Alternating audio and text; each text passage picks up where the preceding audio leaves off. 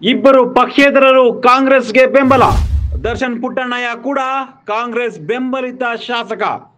ಸಿದ್ದರಾಮಯ್ಯಗೆ ಜೈ ಎಂದ ಜನಾರ್ದನ್ ರೆಡ್ಡಿ.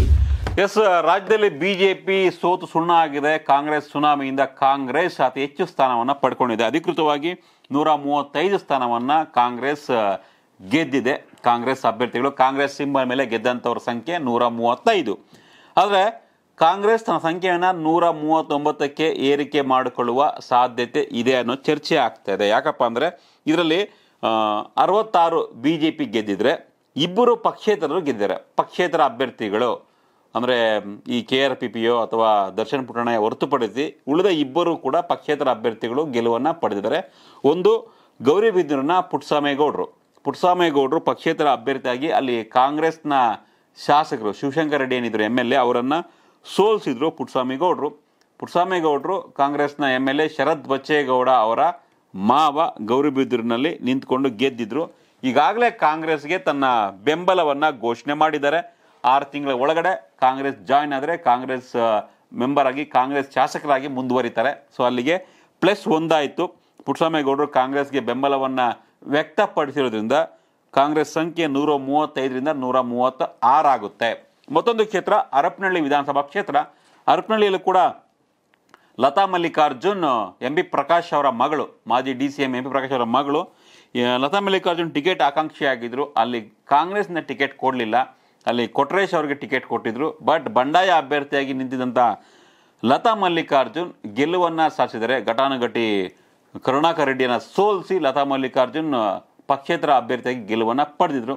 ಗೆಲುವು ಪಡೆದ ಮೇಲೆ ಅವರು ಸಿದ್ದರಾಮಯ್ಯನ ಭೇಟಿಯಾಗಿ ಅಭಿನಂದನೆಯನ್ನು ಸಲ್ಲಿಸಿದ್ದಾರೆ. ಸೊ ಬಹುಶಃ ಲತಾ ಮಲ್ಲಿಕಾರ್ಜುನ್ ಕೂಡ ಕಾಂಗ್ರೆಸ್ಗೆ ಸಪೋರ್ಟ್ ಮಾಡ್ತಾರೆ. ಯಾವುದೇ ಷರತ್ತುಗಳು ಇಲ್ಲದೆ ಅಲ್ಲಿಗೆ ಕಾಂಗ್ರೆಸ್ ಸಂಖ್ಯೆ ನೂರ ಮೂವತ್ತೈದರಿಂದ ನೂರ ಮೂವತ್ತಾರು ನೂರ ಮೂವತ್ತ ಏಳು ಆಯಿತು.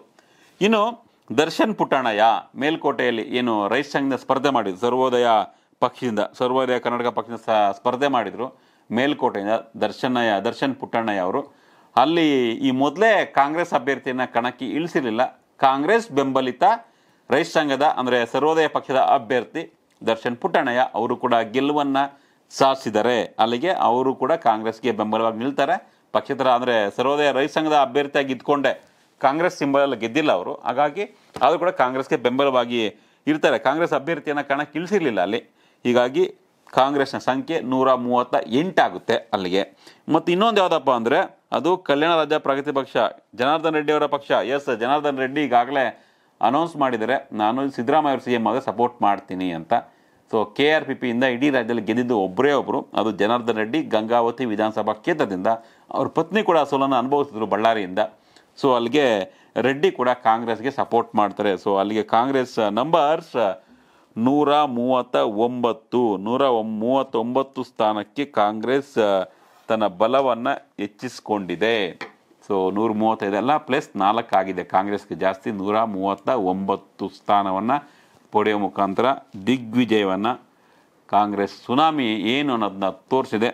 ಎಸ್ ವಿಖೀರ ಇದು ಕಾಂಗ್ರೆಸ್ ನಂಬರ್ಸ್ ಅಂದರೆ ನೂರ ಮೂವತ್ತೈದಲ್ಲ ಇನ್ನೂ ಜಾಸ್ತಿ ಇದೆ ಅಂತ. ಮತ್ತು ಇನ್ನೊಂದು ವಿಚಾರ ಏನಪ್ಪ ಅಂದರೆ, ಶಿಡ್ಲಘಟ್ಟದಲ್ಲೂ ಕೂಡ ಕಾಂಗ್ರೆಸ್ಗೆ ಗೆಲ್ಲುವಂಥ ಅವಕಾಶ ಇತ್ತು. ಅಲ್ಲಿ ರಾಜೀವ್ ಗೌಡ್ರಿಗೆ ಟಿಕೆಟ್ ಕೊಟ್ಟಿದ್ದು ಕಾಂಗ್ರೆಸ್. ಅವ್ರಿಗಿಂತೂ ಬಂಡಾಯ ಅಭ್ಯರ್ಥಿ, ಪುಟ್ಟ ಅಂಜನಪ್ಪ ಸ್ಪರ್ಧೆ ಮಾಡಿ ಐವತ್ತು ಸಾವಿರ ಮಾತುಗಳನ್ನು ತಗೊಂಡಿದ್ರು.